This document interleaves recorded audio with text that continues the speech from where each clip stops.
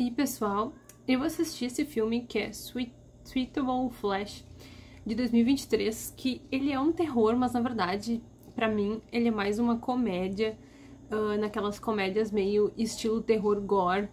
porque acontecem coisas realmente assim muito bizarras nela, mas eu gostei bastante, assim, eu achei bem divertido,